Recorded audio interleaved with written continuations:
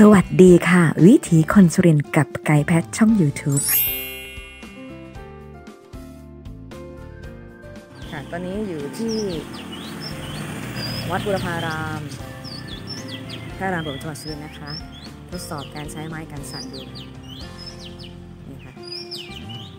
ตอนนี้ 14โมง35 ค่ะก็ทำแบบนี้เนาะกำลังซ้อมดูนะคะ ว่าจะไวไปหรือไปไหม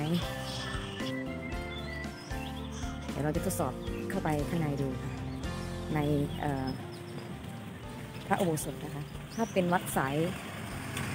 เป็นวัดพระรามหลวงจะต้องเรียกว่าพระอุโบสถนะคะ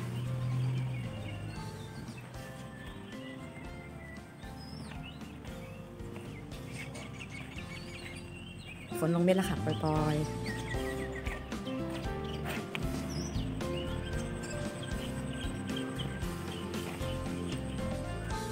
นี้ก็จะหันไปเห็นนะคะสำนักงานอัยการจังหวัดสุรินทร์ค่ะสำนักงานอัยการคดีศาลแผ่นดินสำนักงานอัยการคดีเยาวชนและครอบครัวจังหวัดสุรินทร์นี่ทดสอบนะลองเล่นดูนะเราจะลองไหมเนี่ยเป็นพุทธประวัตินะคะ เกี่ยวกับพระเจ้าที่อาจารย์เรวาดเพียงท่านเดียว ใช้เวลาสองปีนะคะถามว่ามีหลักฐานว่าเป็นอาจารย์เรไหมไปดูกันเลยค่ะนี่ค่ะ ท่านได้เซ็นไว้ที่ผนังนี่เลยค่ะ อาจารย์เรค่ะสุข วุฒยานะคะ มีเบอร์ติดต่อถ้าได้สนใจ ท่านวาดรูปให้ด้วยนะคะ ตอนนั้น แล้วท่านก็ฟังจากรายการนี่ค่ะกำลังฝึกการเล่นกล้องไอเล่นเออไม้กันสั่นนะคะนี่ค่ะ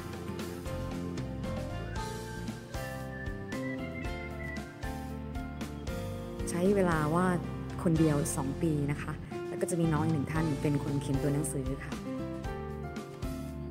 ประธานที่อยู่ในพระโบสถ์จะเป็นพระพุทธชินราชจำลองนะคะ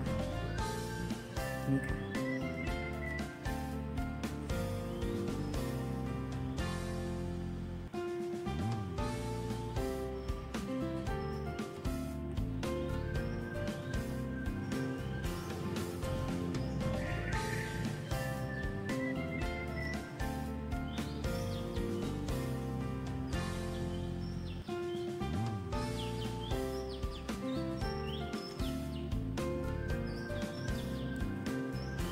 ดู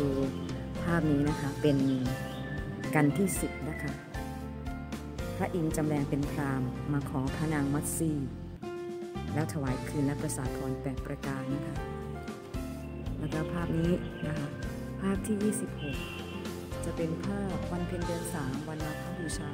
ที่วัดเวรุวันเวรุวนารามนะคะถ้าเคยไปที่ประเทศอินเดียนะคะ พระอาหารหันต์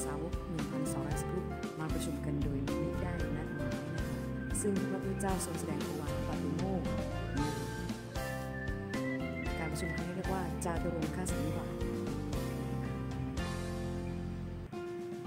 นี่ก็จะเป็นภาพนี่ค่ะนี่จะเป็นภาพที่ 24 นะคะ คือเสด็จเมืองราชคฤห์ทับที่อุทยานรัตทิวัน หรือสวนตาลหนุ่มพระเจ้าพิมพิสารนะคะ และชาวเมืองยังไม่มีศรัทธาจนกระทั่งชลินนะคะสามพี่น้องเป็นที่เคารพ ของพระเจ้าพิมพิสารและชาวเมืองประกาศตนเป็นาสาวกของพระเจ้านะคะนี่นะคะแล้วก็รูปนี้นะคะรูปที่ 22 ทรงประทานเอหิพิกุอุปสัมปทานะคะแก่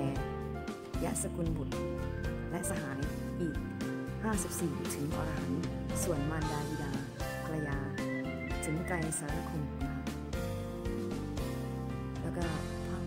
บทภาพนี้นะคะเอาที่ได้กำลังลองเล่นอยู่ค่ะภาพนี้นะคะนี่ค่ะลูกสาวของพระมาอะไรมาเนาะประมาณ 3 คนก็คือพระปะพระนางปัญหานางราคานะคะ นางอรดีคันษาพระพระยามานผู้บิดานะคะ เพื่อทำประโลมต่อพระเจ้าให้ตกอยู่ในอำนาจ ให้จงได้ และภาพใหญ่สุดนี้นะคะในคืนวันเพ็ญเดือน 6 ก่อนตรัสรู้ค่ะ พระยาวัดสวดีมานทรงช้าง ชื่อนารานาราคิรี เมฆนะคะ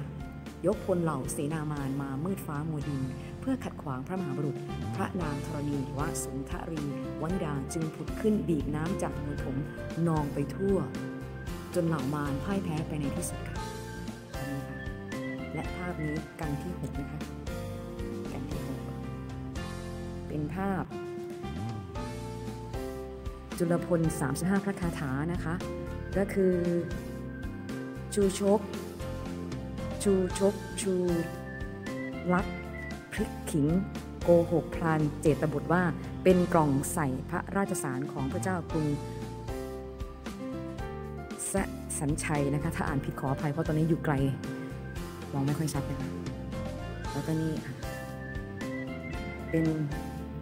กันที่ 7 นะคะ พระมหาพล 80 พระคาถาเดี๋ยวเราดูมุมนี้ค่ะ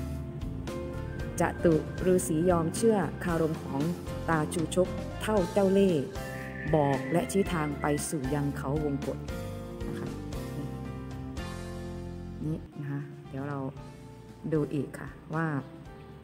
อาจารย์เรว่าดสวยมากอาจารย์เรนะคะเป็นอาจารย์ที่เราจากราชการแล้วก็มารับวาดภาพเฉพาะพุทธประวัติตามวัดต่างๆนะคะ ท่านเป็นอาจารย์ที่ดังมากๆนะคะและได้รับเกียรติมาวาดที่วัดบุรพาราม2ปีนะคะ2548ถึง49นะคะทรงราชขันมณีตัก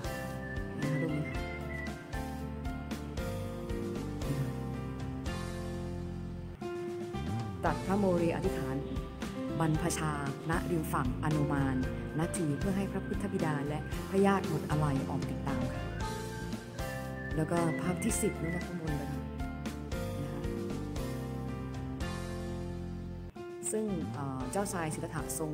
เผยม่านทองมองพระนางพิมพานะคะวันราหูประสูติทรงตัดอะไรตัดสินพระไทยนะคะแน่วแน่จะเสด็จออกบวช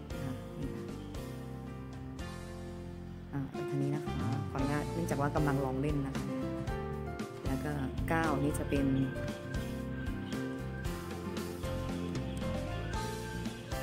เราจะตั้งตั้งให้ตรงก่อนนะคะเรามาตั้งตรงนี้กันค่ะเนี่ยภาพนี้ค่ะภาพนี้จะเป็นเป็นกันที่ 4 นะคะ วันประเวท 57 พระคาถา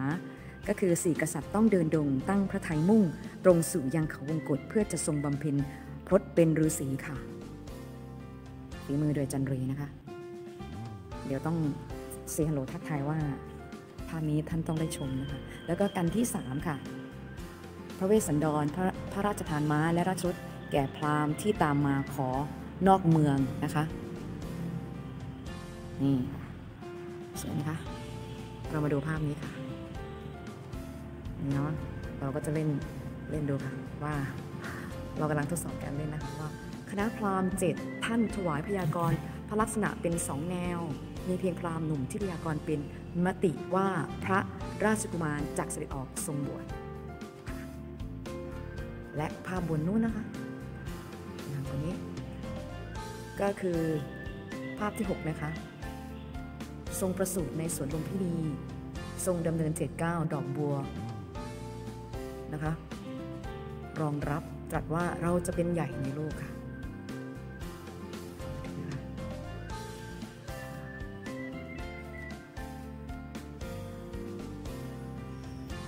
นี่จะเป็นภาพกันที่สองหิมพานต์134 พระคาถา พระเวสสันดรพระราชทานช้างเผือก ชาวเมืองโกรธแค้นให้เนรเทศไปอยู่ เขาวงกฏค่ะ เรามาดูภาพข้างบนนะคะข้างบน ก็วันปฏิสนธิสุขพระคันพระนางสิริมหามายา พุทธมารดาทรงพระสุบินว่า ช้างเผือกนำดอกบัวจากภูเขาเงินภูเขาทองมาถวายค่ะเรามาดูภาพนี้นะคะภาพนี้ต่อไป จะเป็นภาพที่ 3 ที่บอกว่าตราบจนกระทั่งได้มาพบพระนางสิริมหามายา มีสิริโฉมงดงามต้องตามตำราทุกประการคณะพามดีใจ ถึงกับลืมตัวตีอกชกหัวกันวุ่นวายสุขสลายไปก็มีแล้วภาพนี้ค่ะ ก็เป็นบุญวาสนาที่ข้าพเจ้าได้ไปดูอินเดียมาก็เลย รู้สึกขนลุกนะคะ ภาพนี้นะคะปฐมมเหตุมหาเวสสันดรชาดก ตอนพระพุทธองค์ทรงแสดงมหาชาติ 13 กันในสมาคมพระญาติสากยะวงและพระอริยสงฆ์นะคะ และภาพนี้เป็นภาพกันที่ 1 ทศพร 19 พระคาถา พระอินทร์ประสาทพร 10 ประการแก่พระนางพุษดี จุติลงมาเกิดเป็นพระราชบรรดาพระเวสสันดรค่ะ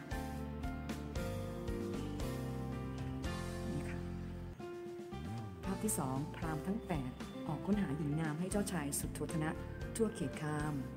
จนเหนื่อยอ่อนแต่ไม่พบหญิงที่มีลักษณะต้องตามตำราจนเกิดความท้อใจนะคะภาพที่หนึ่งข้างบนนี่เลยนะคะก็คือณนครกบิลพัทนะคะครั้นเมื่อเจ้าชายสุโธธนะ ท่านได้มีวัยสมควรแก่การอภิเษกสมรส ทรงพระราชทานบิดาทรงประชุมคณะพราหมณ์ทั้งแปด เพื่อออกค้นหากุลสตรีที่มีลักษณะต้องตามตำราพราหมณ์นะคะมีเป็นการทดสอบการใช้ไม้กันสับแล้วก็จะมีนี่ค่ะมุมอีกด้านหนึ่งของทางพระอุโบสถนะคะจะให้ดูค่ะว่าเป็นรูปหุ่นขี้ผึ้งของหลวงปู่มั่นภูริทัตตูนะคะ เหมือนมากเลยนะคะ อันนี้ก็จะเป็น พระประธานในพระอุโบสถก็คือ พระพุทธชินราชจำลองค่ะ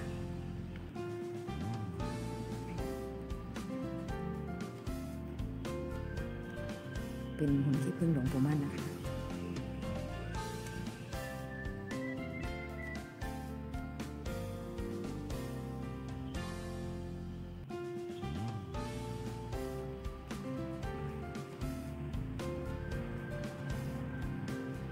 าพที่ 30 นะคะ จะเป็นภาพโปรดพุทธมารดาบนสวรรค์ชั้นดาวดึง แล้วเสด็จลงวันออกพรรษาหน้าเมืองสกกัดนครโดยบันไดแก้วมณีนะคะ หมู่เทพลงบันไดทองเบื้องขวา เท้าหาพรหมถือฉัดพระอินทร์อุ้ม บาทลงบันไดเงิน มาตุมาตุลีเทพบุตรโปรยดอกไม้นำทางค่ะแล้วก็ภาพนี้ค่ะภาพนี้นะคะภาพนี้จะเป็นพระพุทธองค์โปรย พระนางพิมพา ซึ่งพิลาพรำพันกันแสงแทบสิ้นลมทรงแสดงธรรมโปรดจนพระนางบรรลุโสดาบัน ปฏิผลต่อมารา ต่อต่อมาราหุนกราบทูลขอราชสมบัติ พระพุทธองค์กลับทรงประทานบวชให้นี่ค่ะแล้วก็รูปนี้ค่ะนี่ถ่ายแล้วเนาะแล้วเราจะไปชมรูปที่สวยงามอีกภาพหนึ่งนะคะ อาจารย์เรสลักชื่อไว้อยู่ข้างบนนะนี่พุทธคยาเจดีย์เดี๋ยวเราชมตรงนี้นะคะเป็นรูปช้างที่สวยมากเลย อาจารย์เรว่าสวยมากจริงๆ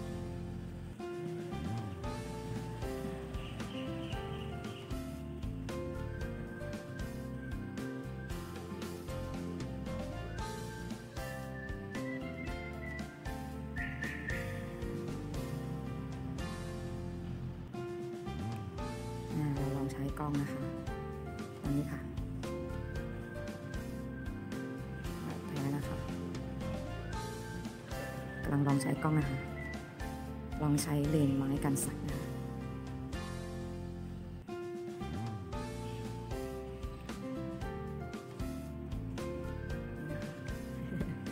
กำลังลองใช้อยู่นะคะ ก็คงจะให้ดูมุมสวยงาม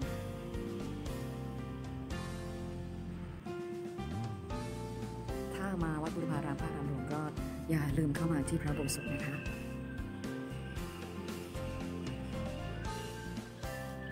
คุณที่ติดตามรับชมนะคะ ถ้ามาสุรินทร์แล้วไม่มาวัดบูรพารามถือว่ายังมาไม่ถึงค่ะ อันนี้เป็นภาพที่พระเวสสันดรตรัสเรียกลูกกัญชากันหาชาลีขึ้นจากสระที่ซ่อนองค์นะคะ เพื่อนำไปให้ท่านแก่เท่าชูชกนะคะขอบคุณที่ติดตามรับชมนะคะ แล้วก็ถ้าอยากได้ความรู้เต็มๆ ก็มาเยือนสุรินทร์ที่วัดบุรพารามพารมจังหวัดสุรินทร์ค่ะ ขอบคุณทุกท่านนะคะ แล้วก็ ในพระโบสถ์ตอนนี้เวลา17นาฬิกาค่ะ